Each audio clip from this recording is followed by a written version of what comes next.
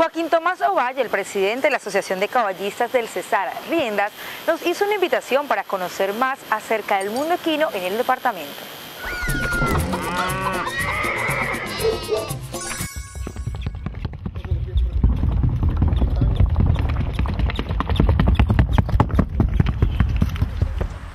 Yo soy Joaquín Tomás Ovalle Pumarejo, el presidente de la Asociación de Caballistas del Cesar Riendas.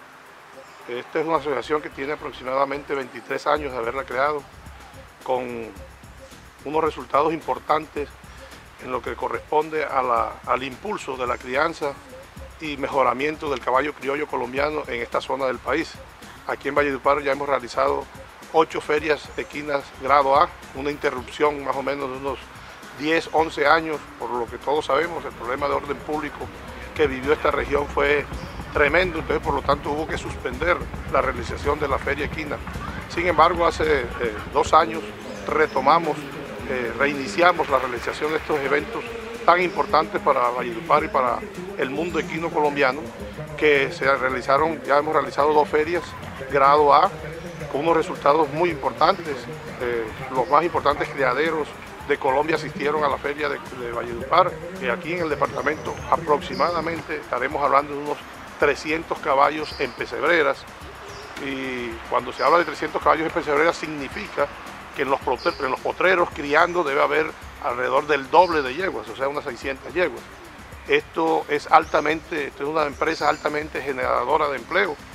La Federación Nacional de Asociaciones Equinas, Fedequinas, recientemente hizo un estudio donde aproximadamente 400 mil empleos se, se, deben, se derivan de la actividad del caballo criollo en Colombia. Aquí en el Cesar no estamos ajenos a eso.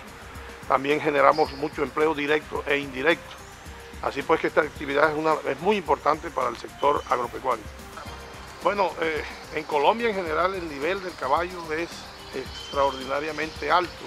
Eh, se han venido utilizando la biotecnología últimamente para el mejoramiento genético del caballo criollo y es así como hoy tenemos unos ejemplares que, eh, de un alto nivel competitivo. El Cesar no ha sido ajeno a eso. Nosotros acá eh, hemos trabajado con la biotecnología durante mucho tiempo y también tenemos unos animales de una excelente, una excelsa calidad, competitivos a nivel nacional e internacional. Acuérdense que el caballo criollo colombiano, especialmente el de paso fino colombiano, es un caballo de exportación. Este es otro, otro eh, plus que tiene el caballo y es que en países como Estados Unidos, Puerto Rico, Panamá, República Dominicana, Europa hoy en día está muy apetecido el caballo criollo colombiano, especialmente el de paso fino, que en el Cesar los caballos que tenemos hoy son de alta gama, de alta competitividad, de alta calidad. Igual no tenemos nada que envidiar a los caballos de afuera ni a los caballos de otras partes. Estamos en la competencia y estamos en eso. Así pues que esta es una necesidad sentida, la, construcción del coliseo multipropósito para la ciudad de Valledupar. Acuérdense que Valledupar no tiene un escenario donde los productos tanto de la industria como del sector primario, se puedan mostrar y se puedan comercializar de una manera acorde con las exigencias del mercado eh, moderno, de un mercado que hoy está eh, no amenazado, está con unas oportunidades para abrirse al mundo, ya está abierto al mundo, y el sector agropecuario, que todavía en el Producto Interno Bruto del Departamento del Cesar tiene una preponderancia muy importante, no podemos dejarlo perder porque es un sector generador de empleo y es un sector muy importante. La parte equina, la parte del caballo criollo colombiano es otro sector que genera mucho empleo y es un sector donde realmente sí somos competitivos a nivel internacional. Esta es una industria que si recibe el apoyo que requiere, seguramente es uno de los pocos productos que puede llegar a todos los mercados del mundo. La feria graduada de este año dolorosamente no podemos realizarla precisamente porque la parte gubernamental no se apartó, no participa en estos eventos y sin ese apoyo gubernamental muy difícilmente hoy, cuando el sector está en una crisis tan grave por todos los problemas climatológicos que se han vivido en Colombia, no podremos realizar esa feria. Esa es la muy mala noticia que la tenemos a Valledupar.